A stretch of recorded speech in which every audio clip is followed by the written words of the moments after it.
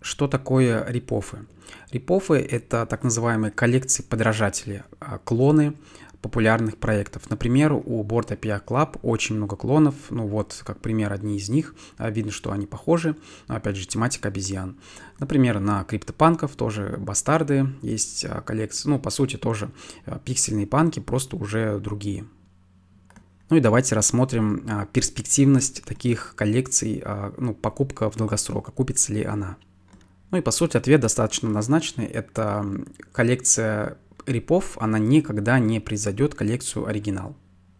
Ну и здесь следует разделить два таких момента, два нюанса. Первый – это когда мы говорим о коллекции, которые, а, ну, видно, что на 90% она копирует а, коллекцию оригинал, вот. Ну и в данном случае коллекцию такую стоит рассматривать э, только исключительно на флип. Ну, быстро или долго это уже а, как получится, но в любом случае именно только флипы. То есть а, купил и тут же продал а, в свой какой-то небольшой профит плюс.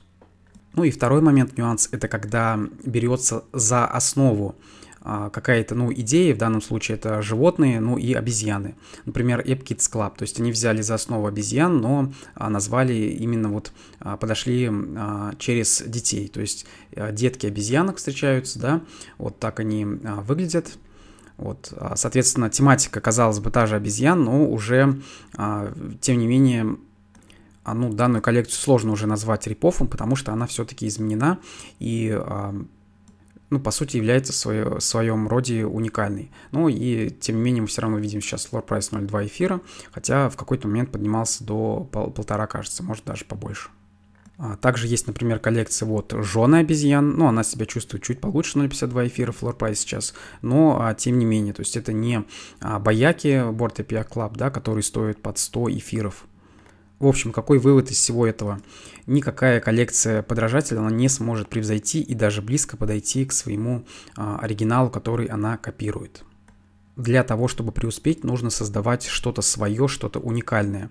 И а, это может быть либо же вы создадите какого-то нового а, существа, скажем там двуххвостого, рогатого, да, с пятью глазами условно, либо, а, что по мне сработает лучше, это взять какую-то тематику, которая есть сейчас. Ну и сейчас мы видим тренд на двуногих, соответственно, для меня до сих пор вопрос, почему, скажем, нету качественных и а, ну, вы, вышедших на такой а, уровень, скажем, в 10 эфиров а, пришельцев, это первое, и второе, это рыцари.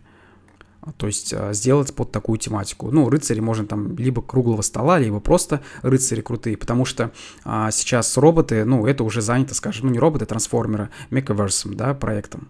Вот так они выглядят. Вот. Но много-много еще ниш не занятых, а даже с двуногими. Ну, про животных я уже не знаю, потому что сейчас тренды меняются, и, а, по сути, ну, у обезьян это уже бояки, у собак там тоже есть а, своя коллекция, у кошек тоже Cats, ну и так далее. Ну и плюс этот зоопарк уже немножко приелся, поэтому мы сейчас переходим именно на людей, на двуногих существ. А, да, была коллекция на Flow от Бена Маура с пришельцами, ну, называлась Evolution, эволюция. Но все-таки это Flow, и плюс она не стала такой популярной, не приобрела популярность, ну, потому что, опять же, все-таки Flow, блокчейн еще не такой а, развитый, а, ну, масс adoption и не пахнет пока что, если говорить именно про NFT. Ну, потому что там, по сути, только NBA Top Shot, сейчас там UFC, а, если на Flow еще тоже будет запускаться, ну и а, все. Короче говоря, смотрите что-то в сторону уникального, а, что еще не было на рынке в плане рисовки, в плане а, самой картинки, кто там что изображено. Ну и а, если все-таки берете репов, то рассматривайте их в первую очередь для быстрого флипа. То есть купил, продал. А на этом у меня все. Надеюсь, было полезно. Подписывайся на мой твиттер, телеграм, заглядывай в мою коллекцию и до новых встреч.